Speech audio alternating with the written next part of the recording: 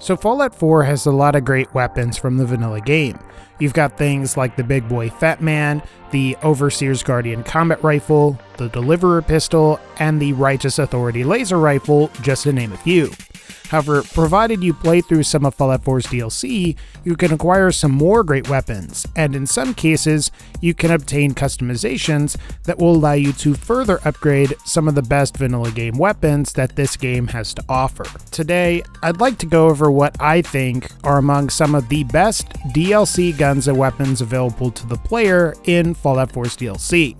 So I guess without further ado, let's go ahead and start with number 10, and that is going to be the Sergeant Ash Flamer. To be honest, the Flamer is actually pretty subpar as far as heavy weapons are concerned, and this is because you can't really increase the Flamer's damage by a significant amount, and it's also because certain upgrades actually debuff certain attributes like the weapon's range and its reload speed. However, the Sergeant Ash Flamer is actually fairly decent thanks to its inherent kneecapper effect, and while this effect isn't quite as good up against human enemies that can heal crippled limbs by using stim packs, it's extremely effective against most creatures. Certain creatures like Deathclaws can't even move provided all of their legs get crippled, making it impossible for them to attack you and other creatures may have ranged attacks that they can still use, but their strongest melee attacks won't be able to reach you because they can't physically move towards you. So because of the kneecapper effect, the Sergeant Ash can make for a great weapon to use against a variety of creatures.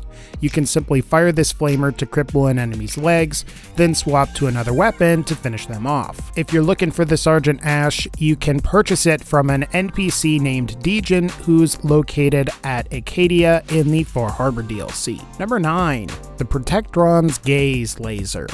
So, the Protectron's Gaze is a unique laser from the Automatron add-on that's based on a weapon that appeared in Fallout 3. However, other than the beam splitter that it spawns with, I think it's fair to say that the Protectron's Gaze from Fallout 4 doesn't really have much in common with the original unique laser from Fallout 3. Even still, like all laser weapons in Fallout 4, the Protectron's Gaze is an excellent weapon that should deal a respectable amount of damage to enemies. In fact, I would say that out of all of the weapons that use fusion cell ammo, I think these standard laser weapons are among the best. What makes the Fallout 4 Protectron Gaze so special though is that it has the rapid legendary effect, which improves fire rate and reload speed. As you can imagine, this makes the Protectron's Gaze ideal for converting into a fully automatic weapon, as the rapid effect will boost DPS potential. So if you're looking for a good automatic laser and you would like to acquire the Protectron's Gaze, you will either have to defeat the Mechanist and loot it from their corpse, or you can also pickpocket the weapon from the Mechanist provided you give her another weapon to equip. Number 8. The Western Revolver. When it comes to pistols, the Western Revolver is capable of the highest damage output per shot out of any other ballistic pistol in the game. While other pistols may have higher fire rates, come in automatic variants, or have a much larger magazine size, the Western Revolver will deal more damage per shot than any of them. And a great way to think of this gun is that it's essentially a more powerful version of the 44 pistol from the vanilla game, where a maxed out 44 pistol deals about 90 damage or so, a fully upgraded Western Revolver should deal about 105.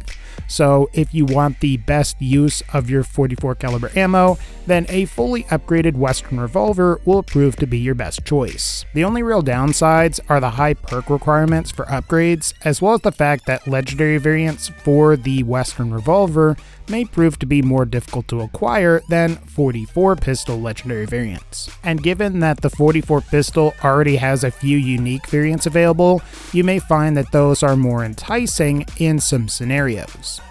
Overall, though, the Western Revolver is a phenomenal pistol, and provided that you can get one with a good legendary variant, it's probably the best ballistic pistol available. If you want a regular variant of this gun, you should be able to receive one from one of the Protectrons in Dry Rock Gulch in the Nuka World DLC. Number 7. The Harvester Ripper. So, the Ripper on its own is a pretty powerful weapon. While it lacks range and has a pretty lousy power attack, the Ripper does benefit from a very high attack speed, which allows the player to hit multiple times a second. Plus, when you pair the Ripper with the extended blade customization, you can tack on some additional bleed damage, which can stack and deal a decent amount of damage per second. The Harvester is basically just a Ripper with the staggering legendary effect. The staggering effect can make it difficult for all types of enemies to fight back, including humans, which tend to be less susceptible to the kneecapper effect, and the ability to attack while reducing the enemy's ability to attack you back is extremely useful and should make short work of even the most powerful enemies. While the Harvester is probably not as powerful as a Wounding Ripper, it still holds its own pretty well. Plus, the Harvester is much easier to get as long as you have the Far Harbor DLC. And if you're curious on how to acquire this weapon, all you need to do is go to Echo Lake Lumber and check a red streamer trunk behind a locked door in the largest building. Number 6. The Nuka Nuke Launcher. While there's not too much to the Nuka Nuke launcher, it's still a pretty good weapon, or should I say customization, for the Fat Man launcher.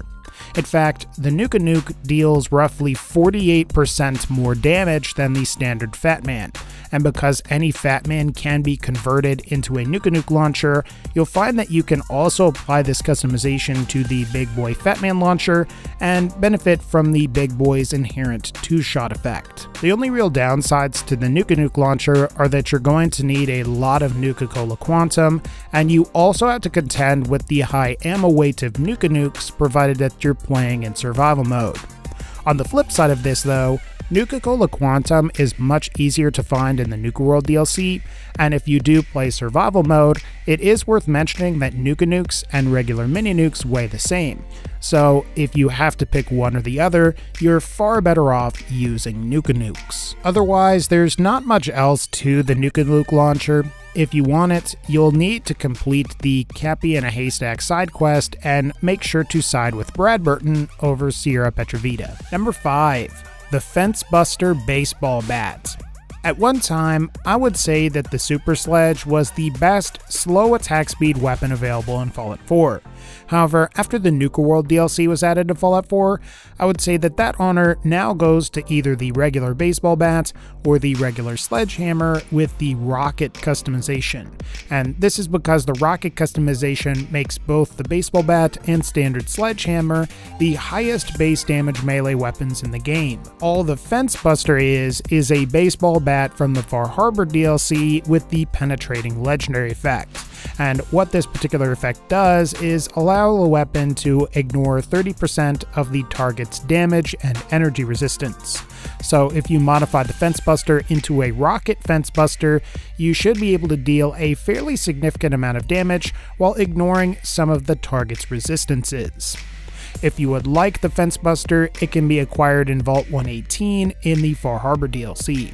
However, if you would like to add the rocket customization, you will need the Nuka World DLC. Number 4. The Throat Slicer Disciple Blade.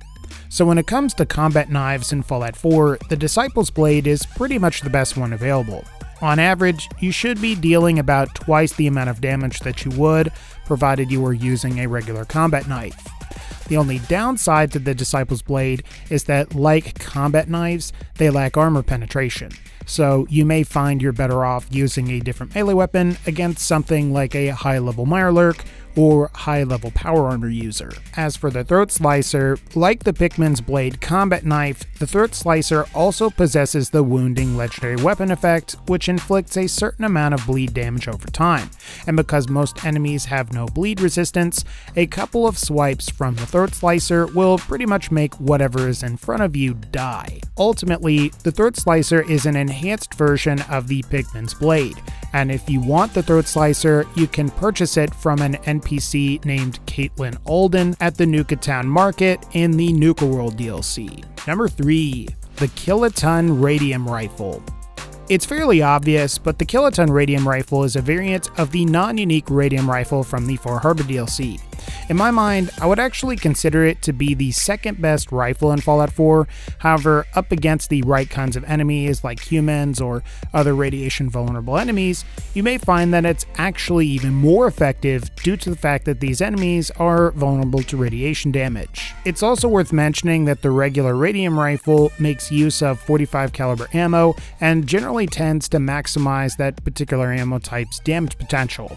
So if you want to maximize your damage with 45 caliber, then the radium rifle is the best choice. All the kiloton radium rifle is is simply a radium rifle with the explosive legendary effect, and for that reason, it's pretty powerful.